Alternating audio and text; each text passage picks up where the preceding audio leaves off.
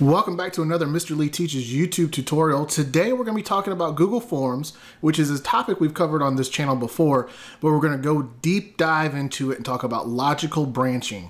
Or in other words, have you ever taken a quiz or a, a survey and one question leads to another based off of your answer. So if you answer A, you go to one section of the form or the quiz or the, the survey. But if you answer B, it takes you to a whole nother section.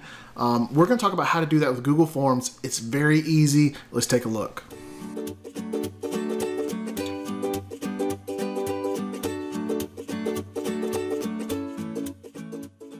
Okay, so you see that we already have a, a, a quiz started. And so I'm just going to keep building this quiz, but I'm going to show you what I've done so far. So if we go in here and we do a preview on what I've gotten created so far, we've got math quiz. You call it whatever you need to or put whatever instructions on this front page. And then we click next. And so we have a question. Uh, so if I were a student and I got this question wrong, let's say I'm mark 17, if I go to next, it pulls up a video on how to solve that equation. And so the instructions are to watch this video, try the question again. So I've watched the video. I can actually play it right here in the Google form. Uh, I'll click next and it takes me back to the question so that I can try to get it correct. So this encourages the student to review over the material that they should know or that they may have trouble with, and then go back and answer the question again and keep doing that process until they get it correct. So doing the math real quick, the answer is three. So now if I click next, I get a great job. Okay, so I know I got it correct as a student. Uh, so I click next, and it takes me to question two. And the same process is going to happen with question two. If I get it correct, I get a great job, thumbs up, move on to the next question. If not, I get a tutorial video. I watch the video, I learn how to do that problem, then I go back and take the problem, you know, answer the question over again. So let's go back into my form and let's see how I did all of that. So we're going to be creating a whole bunch of sections. And so what we have here is this equal sign right here. It That creates a new section. So we're going to use that quite a bit in this. So for the first section, I just have the title. That's that's the opening quiz uh, form page right here where I've, I've just got the name of the quiz. So that's that's this opening section here. So section two is my first question, and I label it question one. And then I put the question in. So when I'm actually creating it, this is the question, this is the section title. And that's important to remember. You want to title your sections because we're going to be skipping between sections, and we want to know what each section is when we go to, to do our logic. So question one, that's the name of this section. In here, I've put my equation in, I've put my question in, I've put the answers, and so instead of going in and making this a quiz and telling it, you know, mark this answer correct or not, I come down here to the bottom and I click on the three dots. So pull that out right there, three dots. And then I want to go to section based on answer. So when I do that, I get these options here. So I can go back and look and for if I answer 17 for this question, I can tell it to go to the reteach question one section. I can pick from any of the sections I've created in this Google form. And I want to go to the one that says reteach question one. Uh, so it's very important to label your sections with what they actually are so it's easy to go back later when you're doing the logical part. Uh, question, if I answered it number nine, uh, I want to reteach question one. If I answer it three, which is the correct answer, I want to go to the good job question one section and I'll have the same section made for good job question two, good job question three, and so on. And that way it makes it easy for me to find later. Uh, and then again, if I answered 27, that's wrong. So I'm going to go to reteach question one. After that, I can choose down here. So after section two, continue to the next section. Section, that's fine. Uh, I'll leave it that way. And so here we have our section called good job question one. And it has our image in it. Now I can make this image a little bit smaller because it is kind of big. Um, if I wanted to change this image, all I have to do is just click on the image icon over here and then I can either upload an image, uh, if I know the URL to an image, if I have it in my Google album, my Google Drive. So I can pick images from pretty much anywhere and upload them. So I could Bitmoji uh, myself in here and there I go. So You can even do a Bitmoji of yourself. And if you don't like it, you can always delete it. So once you have your good job question the way you want it, instead of having to completely redo that process over and over and over again, let me make this a little bit smaller. There we go. I can actually click on these three dots and duplicate the section. So I've got good job question one, good job question two, and then I need to change the title of this one because this one's going to be good job question three.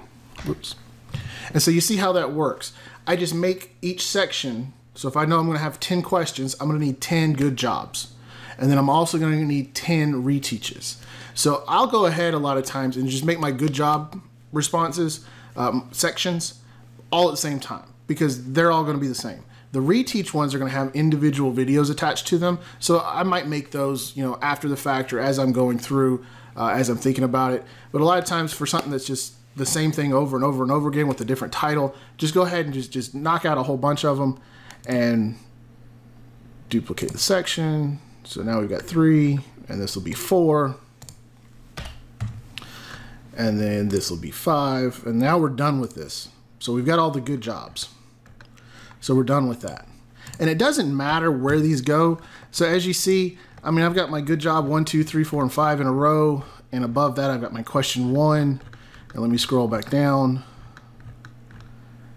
And now I've got my reteach question one. And so it doesn't matter the order because you're telling it where to go. It doesn't have to go in order of the sections because you're telling it which section to go to and then which section to go back to. So after all of my, my great jobs, I need to change something.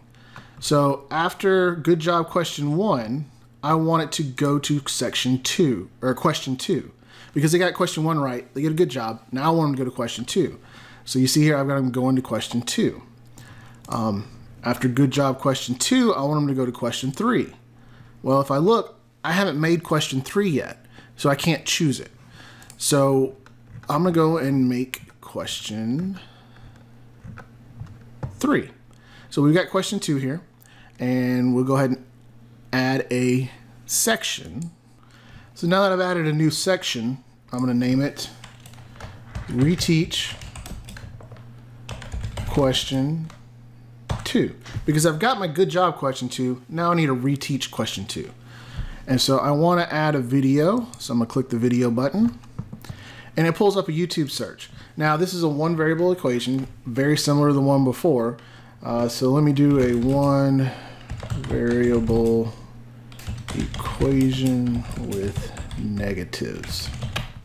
Let's see what I find. Uh, the best way to do this though is to go out and find the video that you want as the reteach and then you can go and click on the URL button here paste that URL in and it'll find that exact video. Uh, you can't really preview the videos too well like this. You can read the, the descriptions, but that's about it. Um, this is not the best way to do that. So two-step equations, solve one, so one, with a negative variable. Let's just pick that one, for example. So I'm gonna select that one. And then I'm gonna tell them to watch the video and try again. And so now I'm done with that. So if I click out, I'm to create a new section. And now that I got my new section, this is actually going to be question three. But while I'm thinking about it, this is the reteach, or yeah, the reteach for question two. I can go ahead and after this section, I want to go back to question two. And that way, when they watch the video, it'll put them back to question two where they can answer the question again and hopefully get it right. So now I'm done with question two, almost, and I'm ready for question three. So I'm gonna go ahead and make question three and we'll say solve this equation and I'm gonna do 24x minus 15 equals 32. Um, that's not a good example. That's a better example. And then I'll make it a multiple choice. Now you got to make these multiple choice um, for this to work. Short answer isn't going to work right. Um, but you get the idea how to make the questions and how to move through. So let's go back up to question two real quick. I know I'm skipping around a little bit, but I don't need to go through and just make all of this for you. I'm just trying to give you the examples to get you started and get you off of this video and into creating your own logical uh, quiz. So I'm going to click here in my question two, and then I'm going to click the, bo the bottom three dots. And I'm going to get the option to go to section based on answer. And so what's the answer to this one? Let's see, that's going to be 8. So negative 2 is the answer. So if they pick 8, it's going to be wrong. So I want them to go to reteach question 2. And if they pick 12, it's wrong. So I want to reteach question 2. But if they pick negative 2, it's correct. So I want to go to good job question 2.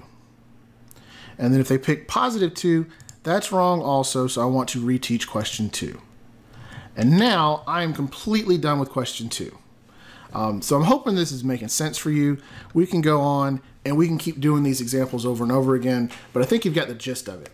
Now, the one thing to remember is you can make these as long as you want, but make sure you go through and pick a wrong answer and pick the right answer and make sure this logic works before you give it to students or before you give the survey to, to somebody else. Um, and just make sure that what you have in there works. I'm going to stop myself right here and just remind you that this is exactly how you would make a choose your own adventure story, or better yet, have your students use this kind of logic branching, have them watch this video to learn how to do it, and then they can make a choose your own adventure story. Um, you can do all kinds of different things with this logic branching. It doesn't have to be a reteach quiz, it can be anything that you can imagine that you would need to be able to skip around and come back and go forward uh, based off of answers. And this is a great flipped lesson kind of situation where you can send this math quiz home with a student and if they get it wrong, there's built-in tutorials, there's built-in relearning opportunities for the students. And so even though you, the content expert, aren't there with the student while they're practicing, you do have that resource available to them and you're kind of forcing them to walk through the steps of reviewing their knowledge before they go back and retry the question. I hope you can use this in your classroom or in your job uh, even tomorrow. Uh, it doesn't take long to set up these logical branching in Google Forms and you can get very very intricate where one question leads to another question leads to another question then back around to a different question um, you can get very very involved in, in how you branch all this out uh, but keep it simple at first try just a few throw in some great tutorials that you find first. Don't look for them through here. It's very hard to do that. And um, and, and have a, a great Thanksgiving uh, next week. It's actually coming up for us. So anyway, uh, thanks for watching. If you like my content, give me a thumbs up for this video. And then if you want to see all the videos that I release and get a notification when I do release them, uh, go ahead and click the subscribe button down there. And then there's a little bell. Click it too. And then you'll know every time I upload a video and you can come watch it and see if you can use it in your class. Until next time, thanks for watching.